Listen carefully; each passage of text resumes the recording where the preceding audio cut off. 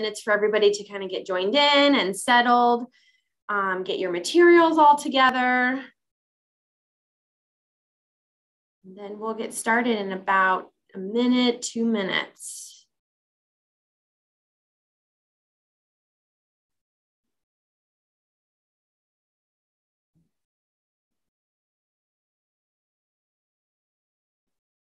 That's for everybody to kind of get joined in and settle. Okay.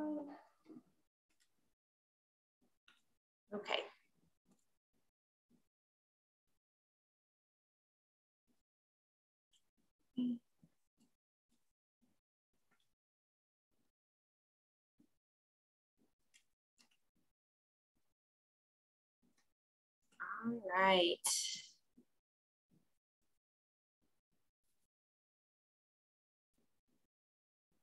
All right, if you're just joining us, good morning and welcome to block two, week two of livestock.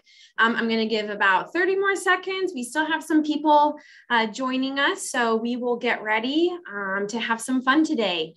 Um, we did send in the box of materials a little, I believe it was bright orange, um, a list of some materials that um, we couldn't send through the mail.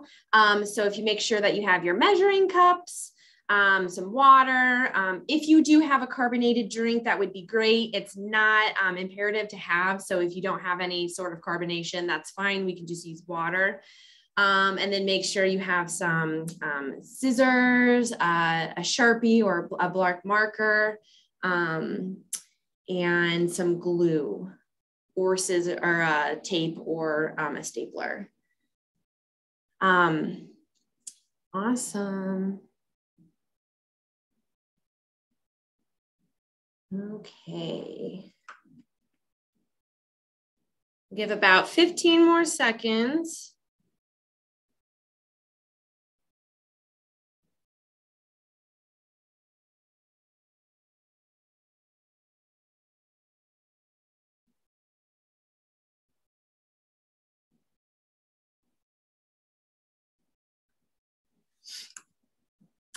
All right.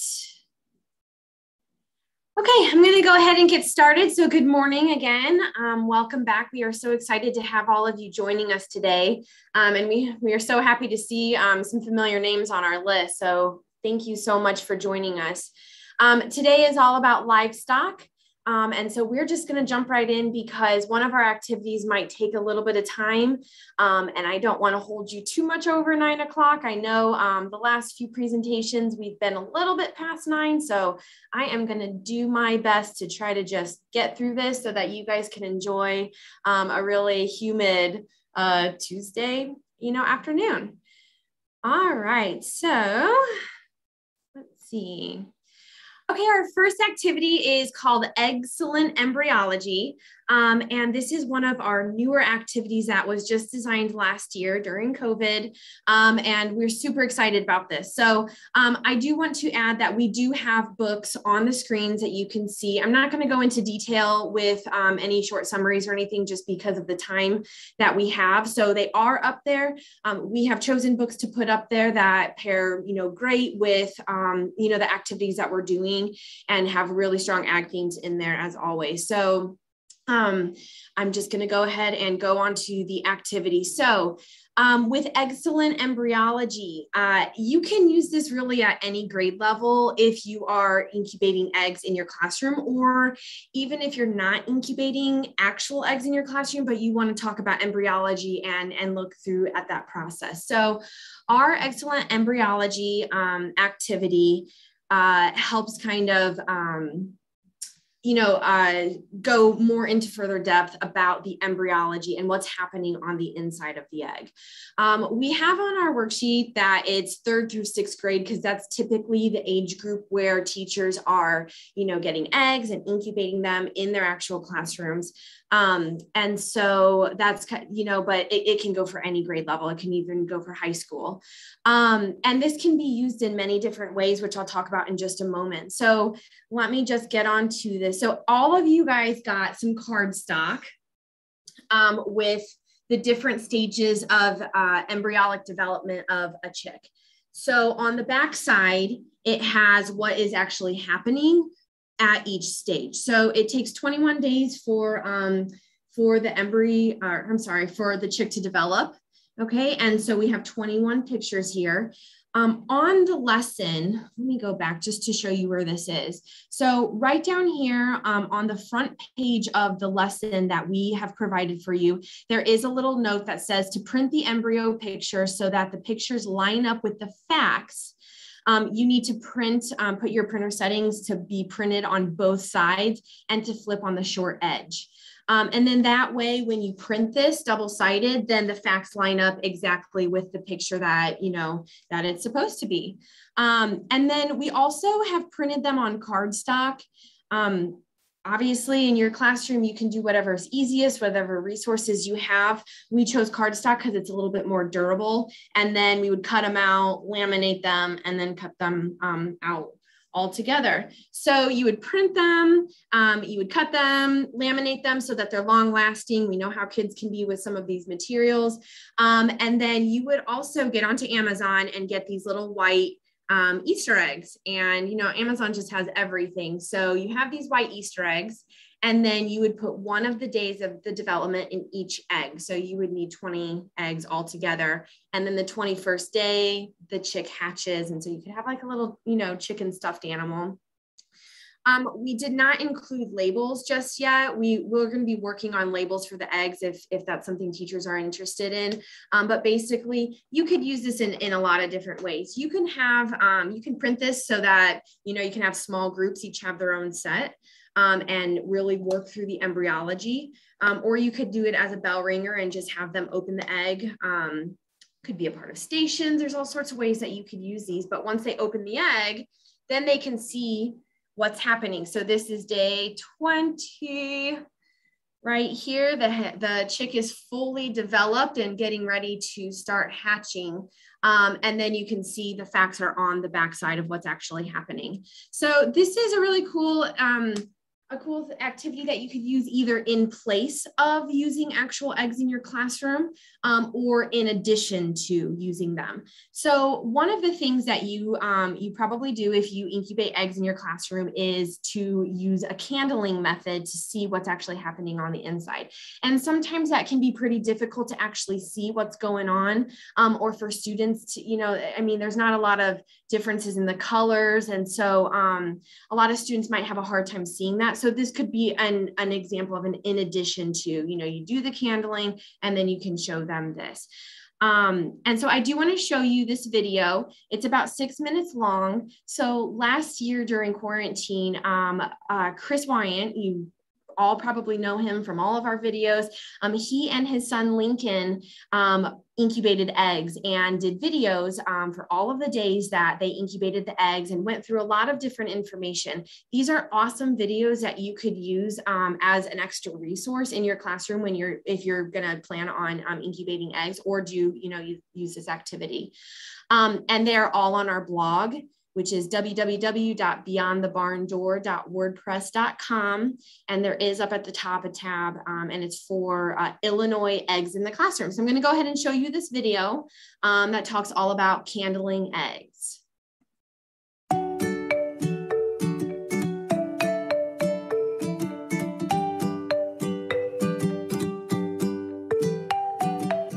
Morning, everybody. We're here to show you what happened last night when we candled our egg. So if you remember, we built this egg candler. Yep. All right. Uh, you'll notice we have some tape on it now. We'll explain that in one of the videos, what we did to try to kind of modify it a little bit. So before we show you our eggs being candled, let's talk a little bit about what's going on inside the eggs right now. Here's an illustration of what's going on inside of our egg. So we started incubating our eggs last Thursday night. And so this is Friday morning. And so our eggs are probably somewhere in this range right here. So you can see still really teeny tiny inside there, but things are gonna start happening really, really fast. So between day five and eight, the range that we're at right now, some really important things happen. The leg bones form, the feather buds appear, the eye starts developing rapidly, the knees start bending, the beak becomes visible, the intestines begin to loop, and the egg tooth forms. So these are all really important developmental milestones that are happening. Now we candled all of our eggs last night. We have 14 eggs and they're two different breeds of chickens. We think that at least eight of the eggs are, are incubating and they're, they're turning into chickens. The other six we're not so sure about. We left them in there for now because we thought maybe it was a little bit too early to tell. And so once we get to this like eight to 10 day range, it should become much easier to tell if, uh, if we have viable chicks inside of them. And so at that point, we'll decide if we need to take any of the eggs outside of the incubator because they're just not growing. So with that, let's show you what it looked like when we candled our eggs last night. All right, so we have our candler set up. So we have the lid off. So turn that off for a second, Lincoln. Okay, All right, so you can see that's what it looks like. And if we turn it on, that's what All right, like. so that's what we're gonna use to try to see if we have chickens developing. All right, so we felt like maybe the hole that I drilled was a little bit too big, so we decided to put some painter's tape on here to try to make the hole a little bit smaller. And we're gonna try that out and see if that helps us see inside the eggs a little bit better.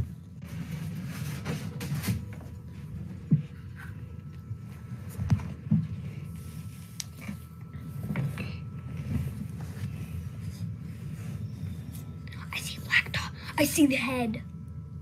You think so? Well, on the camera. I kinda on the camera. Yeah, yeah. Yeah, there's white on the camera. Okay, here. So, so, what happens if you can you turn it for me? Yep. Yep. In there? Yep. we see the head. Okay. So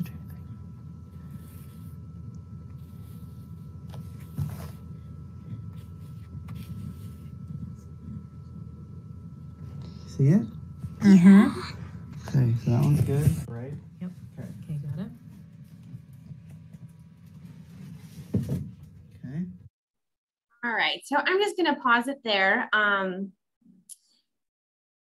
so uh, uh, with the candling eggs, like you see, um, sometimes it can be hard to see what's actually going on inside of the egg. Um, and they do make all sorts of different equipment that you can buy, or you can make your own like Chris and his son did. Um, but but sometimes you just can't see. And so we have this awesome activity to go you know um, either coincide with it or uh, in place of it. So we hope you really like that activity. Um, again you can get the eggs on amazon. Um, and then um, all of the lessons. So we did we did print and give you guys all the lessons. Now that version is in black and white uh, but we are posting or we have it already posted on our blog uh, for today's page which you will be sent to um, once we end the show or the show this uh, webinar um, and it'll have the colored version and you can find it there. Um, and so you can print it in color. All right so our next activity then is going to be our paper bag horse. So moving into horses. Um, I am going to talk about uh, the horse ag mag at the very end. And one thing that I really like about the horse ag mag is that it really talks about the history of the use of horses um, in the ag industry and what, what they're used for now. Um, because we have all sorts of tractors and different machinery that we don't use them uh, like they were used, you know, um, you know, 100 years ago. And so um, it's really cool to see that transition over time. So check out the horse AgMag, which I'll talk about the end at the end. Um, but this is our paper bag horse. Again, we have some awesome books. These are uh, the top three are going to be more uh, junior high, or I'm sorry, grade school level. Um, and then you could even use them in sixth grade. They're appropriate for sixth grade. Um, and then War Horse would be a middle level, upper level uh, novel that you could use.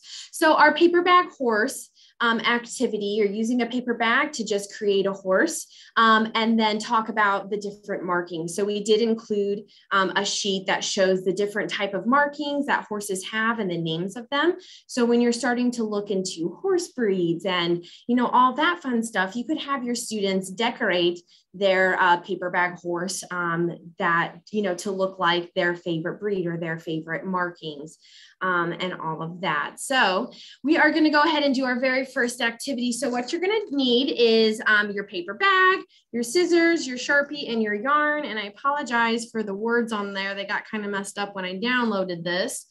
Um, So your paper bag, what you're gonna do is take your permanent marker and draw a U shape, uh, starting with the top of the U um, at the top side of the bag where it opens. And you're gonna start about um, halfway down and then draw a U shape um, just right there, just kind of like you see in the picture. It doesn't matter what side um, of the bag you draw this on. So go ahead and draw your U shape. And then you're gonna cut on the line.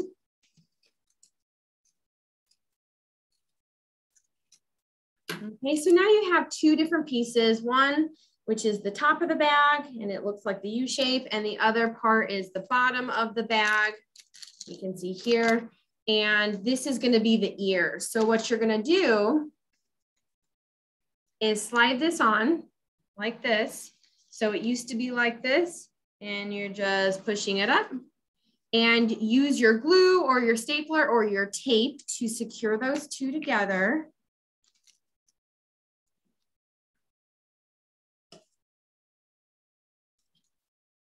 Okay, so now you have your horse. Okay, so now what we're gonna do is take your little yarn and you're gonna put some glue right in the center and glue or tape or uh, staple your yarn on there. Um, I would suggest not using, if you're doing this with your younger kiddos, you know, kindergarten through even, you know, third or fourth grade, and let's be real, even sixth graders, um, I, I would consider not using uh, liquid glue because it is just going to be a mess. So now you have your little hair right there. Um, and then you're gonna take your Sharpie and you can draw your eyes and your nostrils and you have your paper bag horse. Okay, so cute, so fun, super easy for kids to do. They have a little craft, so you're getting some art in there. Um, they are using different materials. You can have something playing in the background that's talking about horses. Um, there's lots of cute shows that talk about horses and have horses. Um, so you can just have that playing in the background or maybe some old Western, you know, music if you're looking at, you know, the history of horses. Um, and then you can have them decorate their horses again with maybe their favorite uh, facial uh, features or the markings on their faces, like that um, little activity that we had shown you, um, or you can have them color them. You could definitely use white paper bags um, and then have them color it based on, uh, you know, what is their favorite breed of horse. And you can look into all the different breeds, what are horses used for, you know, all that fun stuff. And then they have a cute little craft. You could even punch holes in here and have them, you know, make masks and cut out the eyes. You could do all sorts of fun stuff with this. So this is our paper bag horse activity. Super fun and cute for um, the little kids. My nieces loved this. We did this this summer. Um, did not take them very long at all. Uh, the youngest one is pre-K, um, and then the older uh, niece is in third grade, um, and they just loved them. And we looked through the horse ag mag, and um, my third grade niece, she was reading the stuff to me. Um, so lots of fun things that you can do, um, whether you're implementing this in your classroom or sending the stuff home um, to make that that communication with parents. We know as teachers that that is really important to uh, communicate with families. Um, and so that could be something that you do. Hey, we made these paper bag horses today. We're sending home a copy of the horse ag mag. Um, and, you know, look through it with your kiddo and ask them what they learned today in class. Um, so lots of cool things that you can do um, with our paper bag horse activity. Um, I'm going to check our questions. All right, so there's a couple questions on here that I will respond to um, at the end once I get all the way through this stuff. Um, and so um, it, if you can't see me, I'm, I'm not sure why. Uh, it might be something on your end with um, with the, the settings that you have set up. As long as you can see um, the stuff on the screen and you can see, um, and we have the activity that has the pictures with the final endings. Um, I hope that helps. I, I, on my end, there's not really anything I can do. Uh, so I wish I was a Zoom expert and could help you out. But okay, so our moo mask activity, this is when we're talking about dairy, our dairy cows and dairy farms and all of that fun stuff we went into uh, a little bit more depth last week. Um, so our moo mask activity, again, super simple materials. Um, and there's a few different ways that you can do the ear tag with this. Um, and this example right here has them uh, using the number of letters in their first and last name. Um, and so we know that all uh, cattle have tags um, for identification. So you can definitely go into depth with that with your students and you know why we do that. Um, and then there's different ways that you can do this. On this example right here, we are using the number of letters in the first name, which would be nine for Jonathan, plus the number of letters in the last name would be four. And then when you add those together, the total is 13. So we have nine, four, 13. So we're getting a little bit of math in there. Um, you could also uh, do the name tags by birth dates. So mine would be 0328. Um, a cool thing that you could do then is once they get their uh, their moo mass all put together, um, then you could have them line up in numerical order. So then we're challenging them to then look at different numbers and try to put them in order. Um, and you can have them do it the first time to see how quickly they can do it, and then a second time, um, you know, with a different number. Maybe you do one with the birthdays and then one with the the number of letters in their name, um, and see if they can do it faster and just kind of make it a fun challenge, getting up out of their seats, um, working together, how to communicate with each other. There's lots of cool things that you can do. Um, and a lot of cool skills that you can teach just by doing a fun little challenge like that. So our Moo Mask activity then, uh, you're gonna need one um, or two small paper plates, your big paper plate, your dinner size paper plate, um, your permanent marker, and then um, your tag template. So I'm going to stop sharing my screen. Um, maybe this will help uh, so that you guys can see me for, for if there's anybody having trouble. I, I'm really sorry. I wish I could answer your questions on that. Um, I'm not a Zoom expert, unfortunately. So we have our materials here. What you're going to do is take your very first uh, small size paper plate and just cut it right in half. Another thing that you can do with this is then talk about shapes. If you're with your younger kiddos and looking at different shapes, if you cut a circle in half, what kind of shape does that make? You could look at numbers. If we're taking one whole plate and, and taking it into two, what kind of fraction that would that be? Um, so then with your other small paper plate, you're going to attach those as the ears. So whether you're using glue or stapler or tape, go ahead and attach those.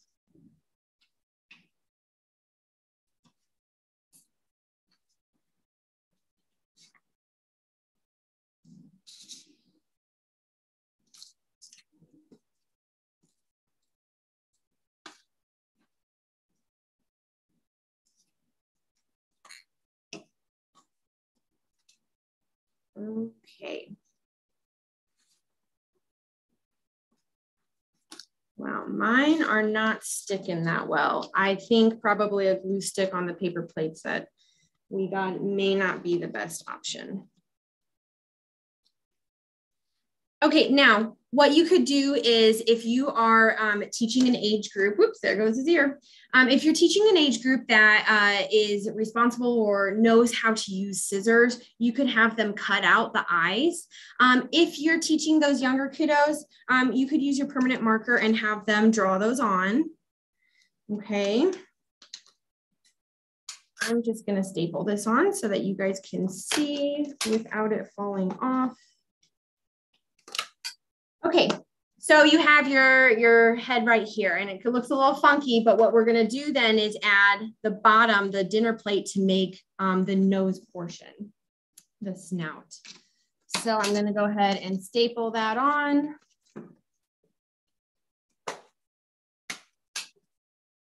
And now we have our moo mask. So what you could have them do then is draw the nostrils on here. You can have them draw a smiley face. You could have them decorate it with cow spots.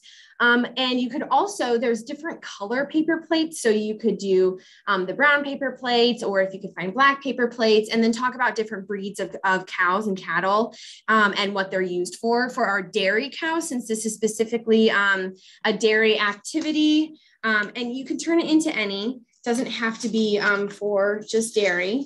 Uh, but if you are using it for dairy, then we definitely want to uh, determine the difference between uh, dairy cattle and beef cattle. Okay, and so you could have them start drawing, um, you know, the spots on there. So that is our moo mask activity. Um, of course, if you want to wear them as actual masks, you would need to cut out the eyes and then attach string.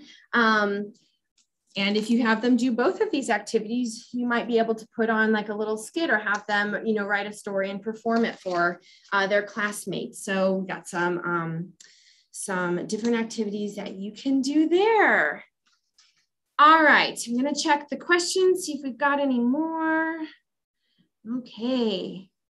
Um, oh, you know, I before I move on for the, the ear tag then, I apologize. I did not get a lot of sleep last night and I feel like my head is scrambled right now. So if I seem a little off today, I'm gonna just blame my lack of sleep. Usually I need like eight hours and I think I got maybe four. So Mm. Okay, so then you will attach their little ear tag on their ear. And you have a nice little dairy cow. How cute is that? All right. So that is our, our third livestock activity. We are moving right along. Um, let me get back to our slideshow. Hmm.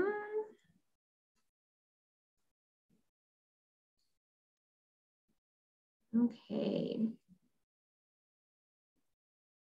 Okay, another dairy activity that you could do is called our uh, beautiful bovine. Um, if you were with us in January when we were uh, celebrating dairy um, for our January dairy theme, um, you, you might have already seen this one. Um, if you have, it's a great one to watch again because Lincoln is just so cute. Um, and uh, if you haven't seen this, then enjoy this activity. Super fun to do for younger kiddos. Um, and you could even do this in uh, even up to sixth grade. I know my sixth grade students would have loved to do something like this and just had some fun with it.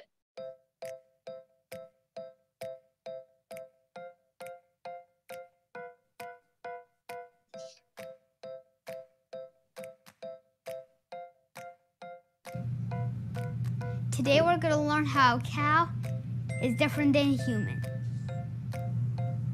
First, cows have really big ears compared to humans. Cows have tails, which is good because they don't have hands, but if they have tails, they can swat flies off. A female cow has an eye which she uses to make milk cows are ruminants, which means they have four parts to their stomach. Cows have rough tongues so they can eat. Humans have skin, but cows have hides.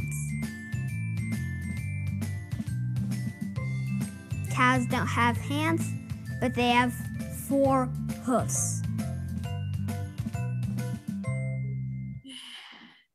Okay, such a cute little activity. Oh my gosh, I just love that video.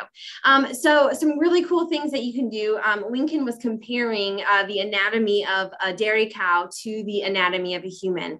Um, and so that would be something that's really cool to do. Um, uh, to start comparing the different uh, structures of different types of animals. Um, and you could definitely go into more depth with that with your older kiddos, even fourth, fifth, sixth grade. You know, what is the reason that they have uh, those different um, adaptations? Where in the world do we find these? Are they different breeds? You know, there's just so much that you can go into with that. Um, and then jumping back, you could even do that with um, the embryology activity. You could definitely look at, okay, well, it takes, you know, 20 days for the egg to, you know, develop or the chick to develop within um, within the shell before it hatches out on the 21st day, uh, how long does it take for other types of animals um, to uh, have their babies? What are the different types of ways? Uh, this one lays eggs, this one has a live birth. Um, so there's a lot of different things that you can do with comparing and contrasting um, anatomy and embryology and all of that fun stuff. Okay, so now for our rumination navigation. So on the screen, I will, um, I'll stop sharing my screen once we get to the activity, but I do wanna show you, uh, we included um, these pages for you uh, in your box. Um, and these are some awesome resources. So this is the full lesson plan. You have the very first page. Um, there is a teacher resources page, which all of our teacher resources pages, if um, you're not familiar with our stuff or our new uh, lesson designs, um, the first page is going to just give you the basic overview of all of the information. And then the backside is going to be our teacher resources page, which is going to include um, ba any background information that we feel you know you need um, just for a basic understanding of, of some of the information. Going to have extension ideas, ways to differentiate um, this lesson in your classroom. It's going to have suggestions on how to uh, pair uh, different activities with this. Um, and then sometimes we also um, either include a diagram of some sort um, or what the finished product looks like, just to give you an idea. And so all of that is available to you. Um, and then on the screen, what you're seeing is the student worksheets. So there are four of them all together. Um, the first page is just the setup. Uh, students making sure that they have all the materials that they're they're doing the pre setup before they actually do the, the whole activity. Um, then the, the two pages in the center that are kind of on top of each other, this is the actual instructions. Um, we designed this to look like a board game to kind of be more fun and um, and kind of it, it flows easily and it, it's just not a boring little worksheet. So hopefully your kiddos like it and like that design. Um, and then the very last page is just um, some labeling and making sure that they uh, comprehended the activity and they're going back. They can um, answer short, short answer questions and they can use evidence from their experiment, you know, to start getting um, in touch with that scientific language, um, supporting their ideas, um, using evidence from their activities, you know, things like that. you could definitely pair this with either our dairy or our beef beef uh, ag mags and there's a lot of different uh, fiction and nonfiction things you can pair with this. Um, but specifically if you're asking them to provide evidence you you want to have that nonfiction text like we you know we all know that. But um, super super uh, fun stuff. So um, these are all the materials that you should have with you. So um, you should have six paper towels. Um, we gave you a, a paint strainer um, you should have your spoon, measuring cups, water, carbonated drink, five baggies, uh, your potato sticks and pop rocks, um, and then the activity out in front of you. So let me go ahead and stop sharing my screen. Um, and I'm gonna walk you through this. So I hope that you join me um, in doing this. And before I get started on this activity, um, we love that you guys are all joining us. Um, and so we uh, want to do something fun with you. When this, um, when this presentation ends, there is going to be a post on Facebook uh, that you know uh, gives you some more information of where to sign up for next week's block. Um, but thanks you, thank it, uh, it thanks you for joining us today. And we we love to see that you guys are doing the activities and that you've received our materials. Um, and so we are putting it out there. So if you uh, take a picture of your materials, um, your finished products for you know following along, you know if you did the the horse uh, paper bag horse with us or the moo mask. Um, if you could take a picture of that, uh, or at the end, or you could even do a selfie if you want with your activities, and then um, post your picture onto that post. And that Facebook post is not going to come out until the end of this, um, until about 10 o'clock. So go onto Facebook, find that post, um, and then and it's going to have the picture that was just up on the screen with all of the materials. Um, and then upload your picture in the comment section. We are going to pick two random winners and send you a prize uh, because we just love that you guys are joining us and we're super excited to have you here. And we love giving free stuff away. So uh, take a picture of all your materials, you know, uh, your finished products. Um, and I just want to say that we we do like to reuse these, whether we use these in post later um, or for whatever reason. Um, so if you don't want yourself in that picture, um, just take a picture of of your materials. But um, I just wanted to put that out there. So uh, at the end of this, jump on our Facebook after you fill out the reflection and um, we will draw two winners uh, probably at the end of today. Um, so get those up there uh, today before 4.30 so that we can get those mailed to you. Um, so our rumination navigation, let me turn to our sheet. So if everybody, if you are following along with me, go ahead and in your packet, turn to this sheet right here, okay? Um, this is gonna be the first sheet of your student instructions, your student worksheet, and it gives a little introduction to your students right up here that just gives a basic in, you know, a little summary about what the digestive system is responsible for. Uh, we all have uh, digestive systems. Humans have are monogastric, so we only have one part to our stomach, um, whereas our ruminants they have four parts to their stomach, um, and so it just gives a little bit of information for that. So we want to say, well, gosh, what is uh, what's going on? Why do cows have uh, such a you know intricate stomach system? Um, and so then you could definitely look into uh, you know what type of food they eat and all of that stuff.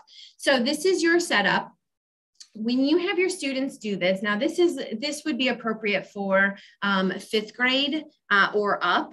Um, if you want to do this for your younger kiddos, I would definitely suggest doing a demonstration.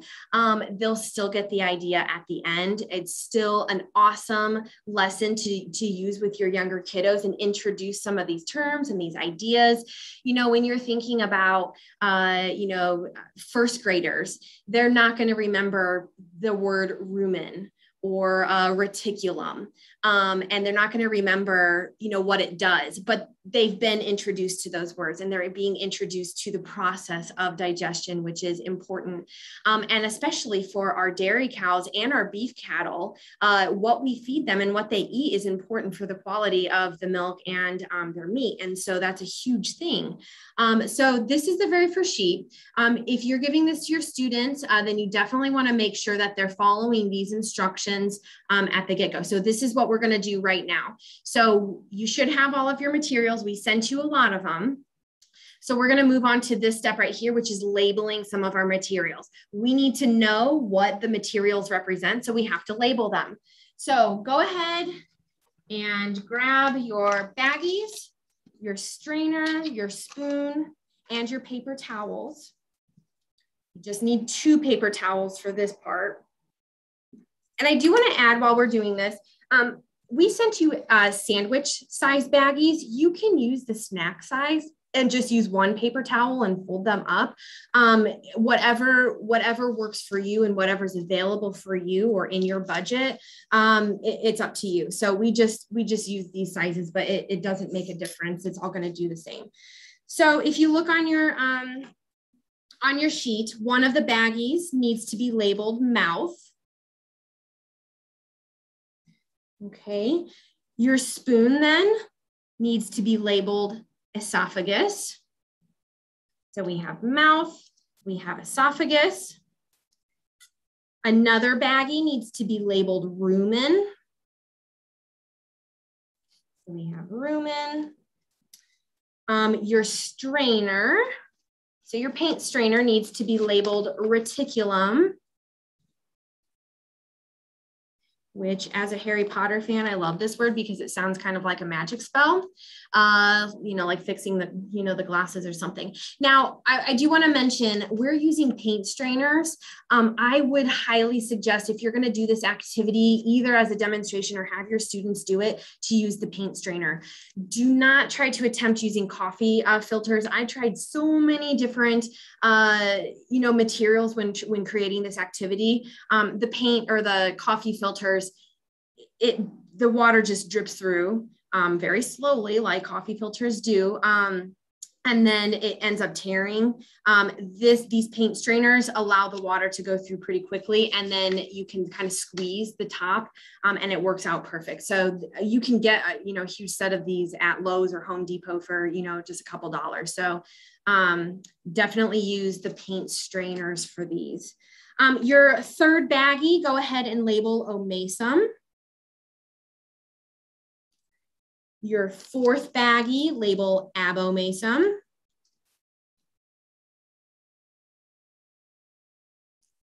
Okay, your fifth baggie, label uh, small intestine.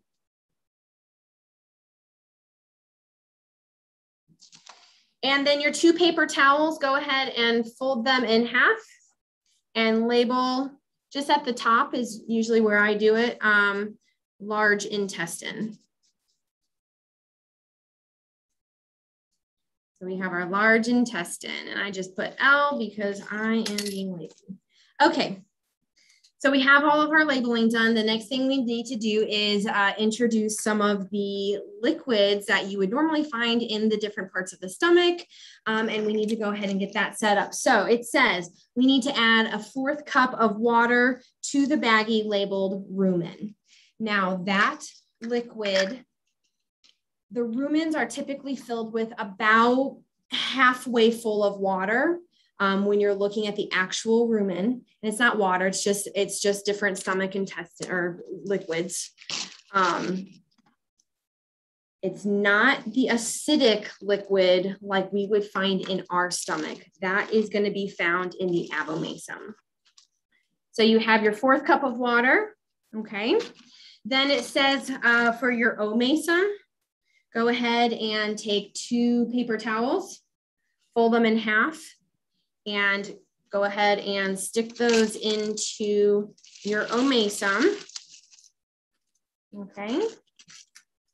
I didn't stick those in very well. So we have our baggies in our omasum. Then we need to add in the abomasum about an eighth cup of a carbonated drink. Now, if you don't have a carbonated drink with you right now, just use your water. It, it's just fine for this activity. The only reason we are suggesting using a carbonated drink is because it's kind of uh, bubbly um, and it reminds us of the actual acids in our stomachs. It's different than what you would find the liquids in the rumen. But the abomasum is the compartment of the ruminant's um, stomach that is most closely related to the monogastric stomach, so most closely related to our stomachs. Um, on a side note, I would also suggest using a clear carbonated drink. Um, because if you're using maybe like cherry Mountain Dew um, or root beer, it, it's probably going to smell when it starts mixing with um, the potato sticks. Uh, so just a forewarning, um, plug your noses because I don't think I made, I don't think I mentioned to use a clear carbonated drink. Um, but I will tell you that it is a little stinky. Um, and then your last two paper towels are gonna go into the small intestine. Now our paper towels uh, are uh, representing the functionality of absorption. So if you are looking into, if you're teaching, you know, fifth or sixth grade or above, uh, you definitely want to go into detail with the structure of the different compartments. What are the different folds for? Um, why, what, what is it actually absorbing? What are the materials? Is it just like different parts of the food? Is it the liquids? What's going on? So for your uh, older kiddos, get more in depth for your younger kiddos, it's just basically showing the movement of the food and talking about how we're breaking down the food that we eat into the most smallest um, compounds uh, so that it feeds our body so that we can, you know, do whatever we need to do as, as living creatures. And so all of our uh, organs, you know, are functioning. Um, okay, now that we have it set up, we're going to go ahead and go through this. Um, we're going to start on this page. Now, I did say that this looks like a game board. I also included a lot of just some extra information. So as your kiddos are going through this, um, or as you're going through it as a demonstrator, uh, you can read it, they could read it and get a little bit more information about what's happening at each stage. We also wrote um, a nonfiction uh, text. It kind of looks like a, an article um, and it's called Moving On Through. And that goes into even more depth about what's happening at the different stages. Um, and that will be found on the page um, on our blog page with all of this other information uh, that you can find, which um, is the same page from last week. Um, okay, so what we're gonna start with is the cow has to first eat the food. So we're gonna add about a fourth cup. And just for the sake of time, I'm not gonna measure um, and you don't have to measure either. I included measuring cups to help students practice uh, using, uh, you know, more precise measurements, getting used to different uh, the language, you know, a fourth cup versus, you know, a, a, an eighth cup, you can get into fractions, all that stuff. So you have your food, but we don't just chew with a dry mouth. We also uh, produce saliva. So um, I put in there to add about a tablespoon. I'm just gonna dump a little bit in here. You do not want it to be soaking wet. Uh, you just want it enough to kind of start mushing this together. Okay, so you can talk about the different processes. Uh, we're using our hands to kind of uh, mush this up just like we would be chewing on the food. It's starting to break down that food. The saliva, the enzymes in the saliva is also starting to break down that food. It's the very first part of digestion. So now that we have our crunched up material, the cow has to swallow. So we're gonna use our esophagus. Now, what you're gonna wanna do is have your baggie open, your rumen baggie. When the cow swallows, the first compartment it's going to go into is the rumen. Okay, so if you have kiddos working in a group, have, you know, some of them read, have them, you know, have jobs. One of them can read the instructions. One of them can, you know, hold open the baggies. One of them can use the spoon. Um, if you're doing this by yourself like me, it might get a little bit messy. Okay, so the cow has to swallow. So we're just gonna use our esophagus to move that food down into the stomachs, the, the rumina. Okay, now I do want to say that you can also go into detail about the structure of the cow's mouth and the teeth. They do not have any of these front teeth. They do have two uh, incisors at the front, the bottom, and then they have molars. So they don't always chew their food up completely this first go around. Okay. And so, I mean, sometimes we don't either. If you put mac and cheese in front of me, sometimes I don't even know if I'm chewing at all. So we, you know, but we don't regurgitate our food. But this is what a cow does. So then your food is in the rumen. And so then um, another thing that's going to happen in the rumen is that there are microorganisms in there. You're basically feeding the microorganisms in your stomach. And so to represent that part, we gave you some pop rocks. Okay, super fun. Um, go ahead and uh, use your teaspoon. I accidentally grabbed a tablespoon. Um, I'm just gonna dump this in here because I can't find my teaspoon. So this is the fun part for the kiddos, or one of the fun parts.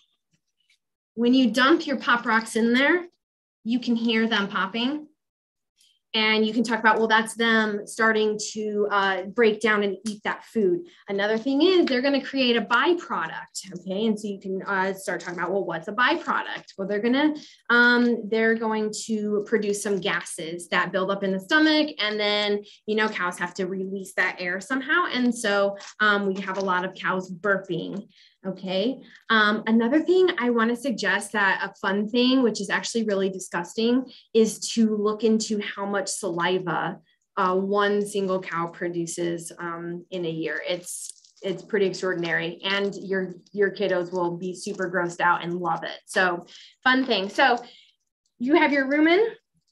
Um, another thing in the instructions is to say, well, what, what's happening in the rumen? The rumen has contractions. So in the instructions, it just says to lift up and drop. And you can see that movement of the water right there, okay? And that movement is what's gonna start pushing uh, some of that liquid into the reticulum, okay?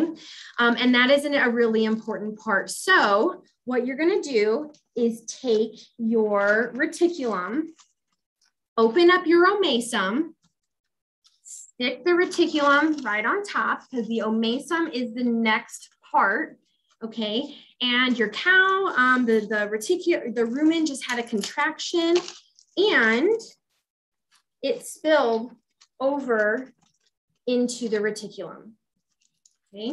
So what I'm gonna do is just pour all of the stuff from the rumen Now, in real life, all of the liquids aren't going to pour over. It's kind of like a wave pool where the waves come up and some of the water goes out onto the sidewalk, you know, where you know where people are walking around, um, but the water's still in the pool. So that's kind of what it's like. So you have all of the liquids. Well, gosh, uh, our food didn't go through. What's going on? Well, the reticulum is there, and anything that's not digested or broken down enough um, is going to get caught right there. It's kind of like when you feel something in your throat. They they it applies some pressure uh, um, right near their esophagus, and that causes them to then regurgitate their food. So what you're going to do then is open back, open up your mouth again. And you can either dump it in there or use your esophagus or a little bit of both. Put your food back into the mouth, okay? And then in the instructions, it just talks about um, uh, using the bottom of your measuring cup to kind of smush this. So this is called chewing the cud. Uh, the cow has to to chew it even further to make it easier for the bacteria and the microorganisms to start breaking it down even further. It was just too big. Um, it, it's not digested enough or it's not broken down enough to be digested. So they're just gonna take the bottom of their measuring cup and kind of smush it, okay? Now, this is where we come to the end of page one.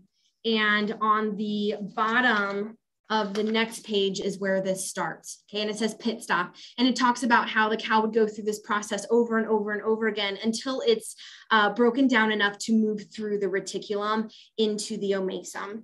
Uh, but for the sake of time and for the sake of this activity and just as how it's written, we're just going to move right past that. And we're going to pretend that uh, it is moving um, on into the omasum. So your cow swallows again. It's going to go through that whole thing.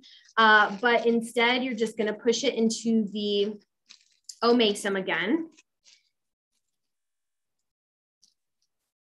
And the paper towels in your omasum you should see that they are, you know, pretty soggy, okay? And that is what is uh, what we're looking at with the absorption. The omasum uh, is part of the, I mean, it, it, absorbs a lot of those liquids um, and some of the materials from the food, okay? So we have our wad of food, we have the absorption of those liquids, and now it's gonna move into the abomasum. Okay, now I'm just gonna keep using my spoon even though it's the esophagus. Uh, you can have your students put on a glove or use their hands or just dump it in there um, or just have it, just use one of their measuring spoons so they don't get confused because, you know, the esophagus isn't, you know, part of everything. It's just that first part. So then we have the abomasum. Okay, this is the, uh, the uh, compartment that's most closely related in terms of functionality uh, to our human stomachs. Um, and that's where it's more acidic liquids that are in there that are really starting to break that down even further and get some of those uh, nutrients out of the food, okay? Um, a lot of the nutrients are gonna be absorbed initially in the rumen but there's still a lot of nutrients that are, are going to be absorbed in a lot of those liquids. So you have your omasum, that is then going to move into the small intestine. So I'm going to, you can either pour all of the liquid in there or just the food. I'm just going to do the food. Some of the liquid is going to pass through, but not all of it.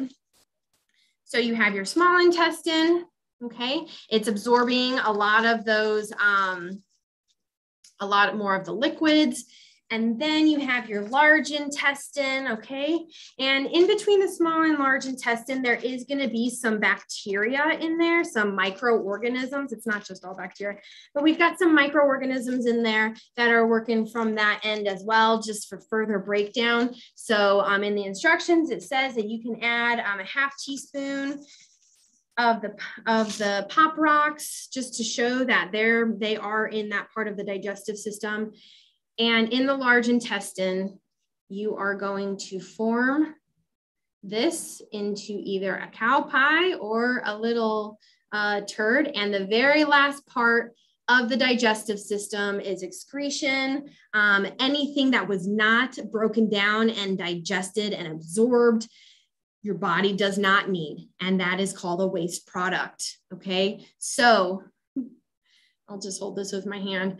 So you have a turd now. And this is the best part of the activity. Um, I did this activity with eighth graders with just the monogastric activity or activity, the monogastric digestive system, and they loved it. They could not get enough of it. Um, I used it as um, a, a formative assessment um, and I went around and asked them to explain what was happening at the different parts. We did use uh, just bread and one baggie, um, and they they talked to me about it, and they just had so much fun.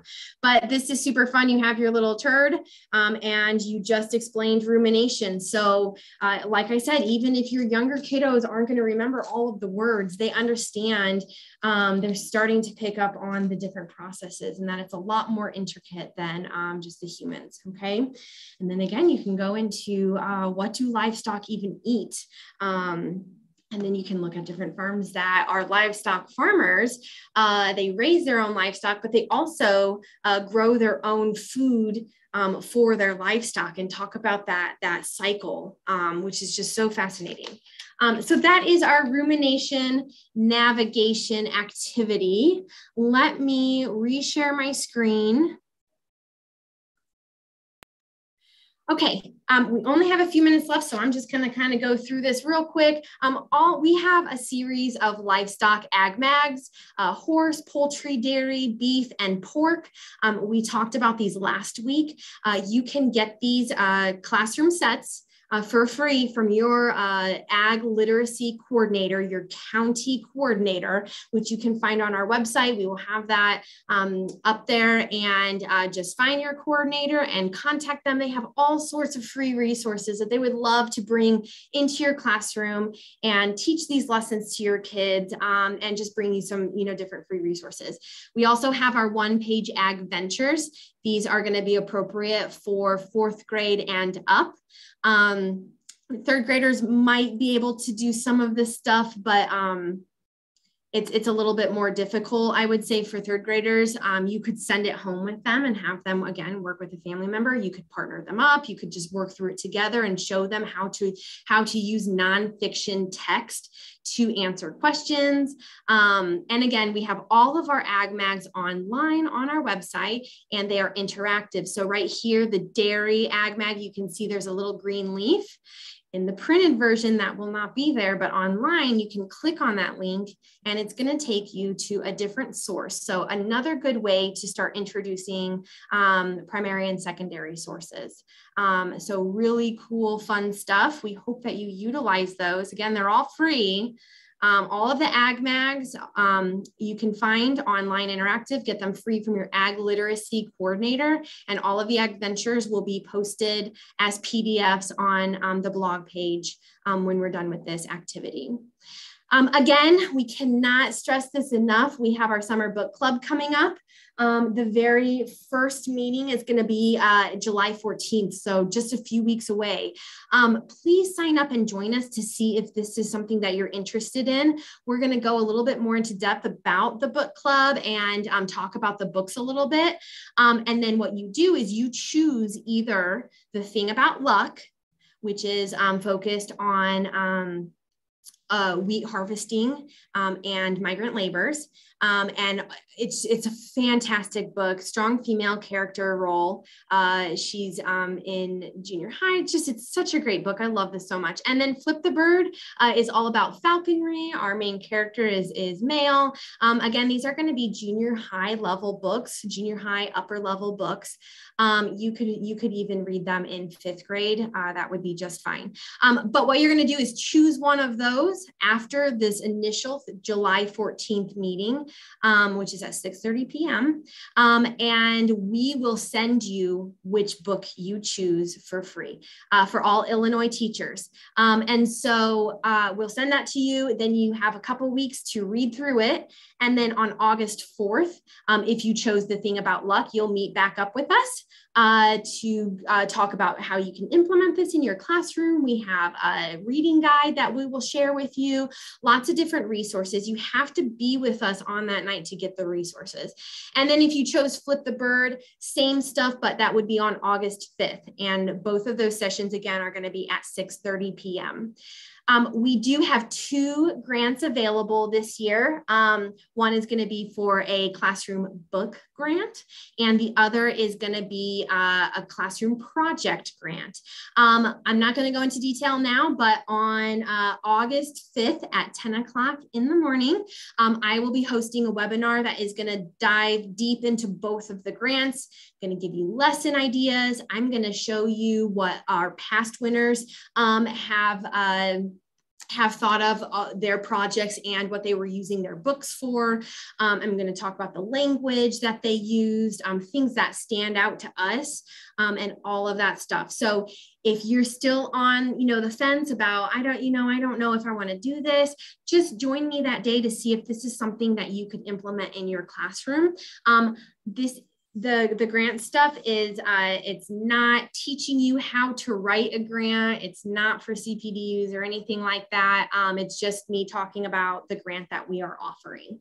Okay so i'm going to go into depth um, about it there.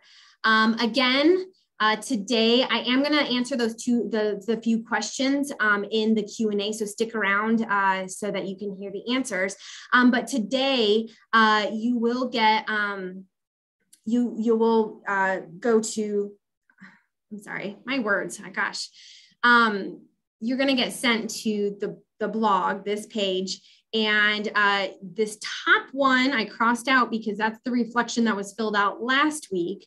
So you want to go down to the one that says 629, that is today's date, and go ahead and fill out the reflection. Um, again, uh, don't mind all of my mess ups. I I'm telling you, if I don't get eight hours of sleep, I am just a mess. So I apologize for that. Um, and then the, the link underneath there is for row crops. So we have two more blocks. Block three is going to be all about row crops. And you're like, well, gosh, what could we do with corn and soybeans? Well, there's a lot of fun stuff that we have uh, going on. And then um, our last block is all based on specialty crop. Um, if you, for some reason, are having issues with getting the emails um, or it's not sending you to the blog uh, right away, this is the link https uh, dot dot slash slash iaitc.co slash June 22. That will also get you there. Um, or if you just go to our blog, beyondthebarndoor.wordpress.com, you can click this teacher training tab and when you click that, it should be the top link right when you get to that page. But if it's not, it might be the second one and it'll say livestock virtual teacher training June 22nd and 29th. So there's a few different ways that you can get to this. Um, I, you know, we just learned how to do all the Zoom stuff last year. We're trying to keep up to date and, and do as much as we can with learning, but there's a lot of technical stuff that we don't have control over and, and we don't really know, you know, if there's something going wrong wrong because we're just that's you know we're not professionals in that area. So we're very sorry for that. We're doing the best we can. Um, and then lastly uh, follow us on facebook illinois ag in the classroom uh, instagram which is at ilaitc uh, twitter at ill ag class. We also have a pinterest board um, which we're, we're starting to utilize more. That has a lot of our activities on there.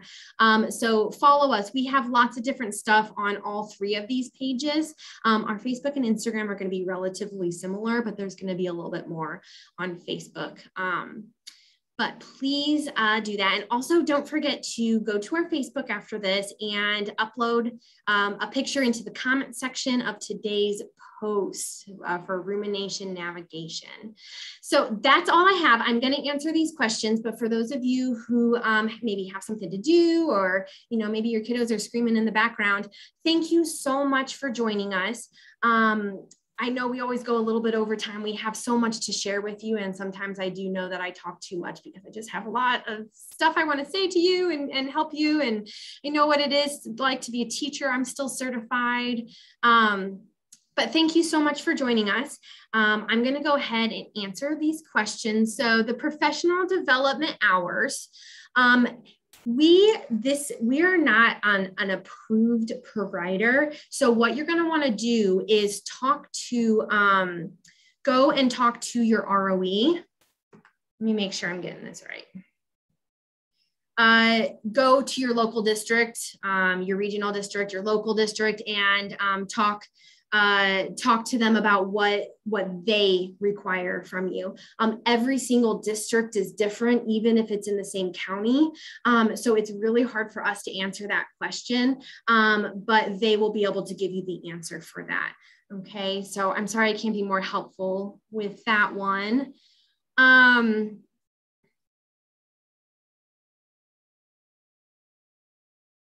somebody received, uh, so Samantha, you received an email saying you signed up for livestock but didn't attend.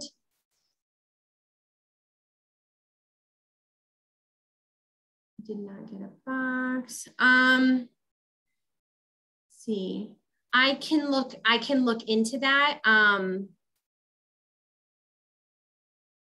let me look into that and see um, if you, let's see. Yeah, because I'm not exactly sure. I know that um, it's it's the first 50 people, so so it could be something with that. Um, but let me look into that and and just check that out. If you want to um, send me uh, get onto our website and, and either our Facebook or something and, and send us your email. Um, and then that way I can email you back once I look a little bit further into this because I'm not sure what would be happening.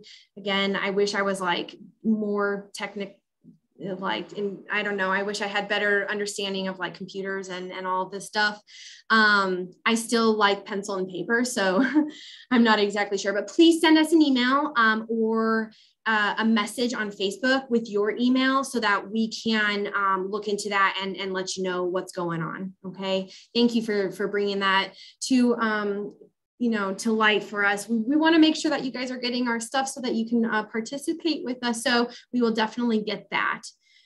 Um, are the ag mags available for purchase for those of us from out of state? Um, let me look into that too. I, I definitely think they are. There is an order process for that. Um, so Jamie and anybody else who is out of state, please look, um, please send us an email with that question just because when I end this, I'm, I'm afraid I don't know if I have it set to save the, the Q&A part. So please look into that. Um, not please look into that. I'm looking into it. Uh, send me an email um, or find us on Facebook and send us a message um, just as so that I can contact you and get those, get your address and all that fun stuff. And just so that I, I remember uh, to do that for you, that's a great question. Um, I, again, I just was hired last year, uh, a month and a half before quarantine happened. So there's a lot of things with like the, the ordering stuff that I'm not quite familiar with yet. And I, I don't want to uh, pretend that I am and give you wrong information. Um, but I know that there is a way to do this. I just I'm not sure how it works. So please contact us so that we can get those to you. Um, let's see. Um, we send out all of the materials. Uh, Samantha, thank you. I will copy your email right now and get that. Um, we do send, we try to send out the materials uh, a couple hours after the first session. Um, so after week one, uh, and then um, anything that comes after that, we send out the next day for everybody. Um, and so if you're not getting, if you're not getting your boxes, um, again, I, I'm not sure what their reasoning could be. I, I need to go back and look at the lists and, and see, you know, what's going on with that. So, um, Jamie, go ahead and, uh, and type your email in this chat. Oh, I see you just did that, just updated. I will copy and paste that as well. Okay.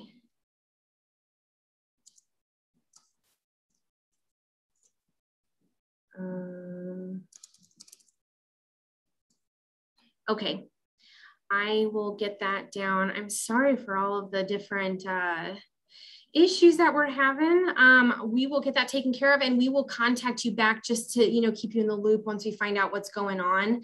Um, so again, thank you guys so much for joining us. Um, and for those of you uh, who um, asked the questions, I will look into that right when I get done. Um, and Carla, all of the lessons uh, that we've been doing are listed um, on our blog. So the page, um, the page that uh, that you'll get sent to when I end this webinar um, or on our blog under teacher training.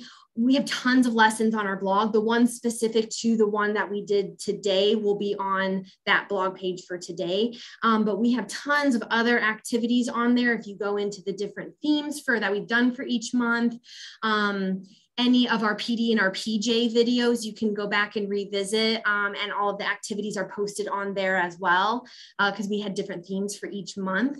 Um, and then we also have something called Everyday Ag that we implemented at the beginning of quarantine uh, that has just a ton of different ideas, uh, STEM-based ideas for K through three, four through six, um, and, and just some different resources and all of that. So all of that can be found on our blog.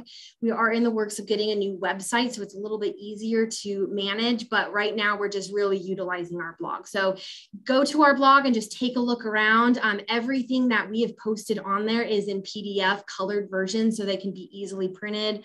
All of the, um, all of the student worksheets and templates and everything are also uh, gonna be on there as well. Okay, so check out our blog. We've got tons of stuff on there. Um, so again, thank you guys so much for joining us. Um, and I will get to looking into some of that stuff right when I end this. So enjoy the rest of your Tuesday.